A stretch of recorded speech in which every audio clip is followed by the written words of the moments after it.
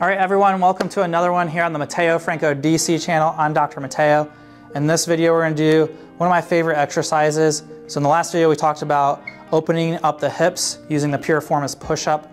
This is called a seated good morning. It's really gonna work the adductors and opening up those hips. It's a strengthening and stretching exercise.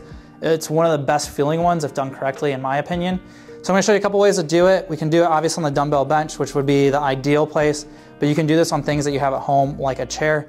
And then stay tuned for a bonus at the end. I'm gonna show you uh, the stretch that you compare with it and how I do that in actual flow. So seated good morning. What we're gonna do is our goal for this one. So we're gonna sit like this. We're gonna, I'll bring you over this way a little bit, is scoop the tailbone under. We want the, the spine to be stuck. We really wanna feel the motion, my squeaky shoes here, on the, on the actual hip bones or in your adductors, which is the inside of your thigh here. So once we get in that position, then we're gonna keep a flat back when we do this, keeping these legs locked here. And I always pretend I have weights. You can do this weighted eventually.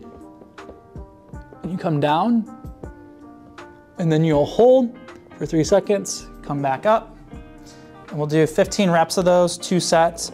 Take it, make it more challenging on a bench. What I like about this is this is here to support you, is then you can actually advance this um, always start without weights in the beginning. I always do body weight first.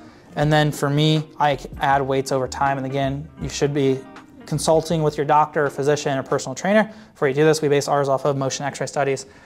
But then I can add weights because it helps me get down. We got to be careful with that because we don't want to jump too quickly because if we force our body past a normal range, that's not good either. Then we'll get down here and it feels so good. It stretches out the inner thighs. You can feel it in different areas based on your pelvis. Some people feel it in their back around the SI joint, but that's the goal of that. And so I'll show you how to do it over here on the chair too. And I'm gonna show you that bonus part of how you pair that with a stretch, which is my personal favorite. So all you need is a spot where you can, again, scoop that tailbone under, lock the sacrum, which is the bone that your hips glue to, like so. And then we get these wide. And then we're gonna have a flat back as we come down. And I always try to get my hands as close as I can to the floor. Hold for three seconds. Come back up.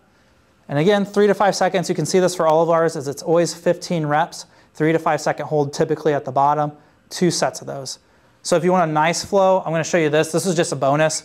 So what I do is I will do the piriformis push-up. So I'll do each leg. I'll do 15 of these reps. Again, if you guys want to watch the form on this, go to the other video on the piriformis push-up. We'll do this. I'll do 15 reps, three to five second hold. I'll switch sides, do my right side, and then in between that set, I'll do a seated good morning because it's all working that same joint, that's stretching it. Then I'll do these and I get a better range of motion. I feel I get more out of them. So if you want to advance it, that would be my advice. Then I do three to five second hold at the bottom of that. 15 reps, and then I do that all one more time. And so that's a nice little circuit if you really want to work on your hips and advance that quicker. But again, it's not about setting world records. It's about what we do consistently over time. So if you guys have any questions, leave it in the comment section below. But also, I'll uh, like and subscribe if you guys haven't already. Make sure you don't miss a video. And then I will see you on the next video.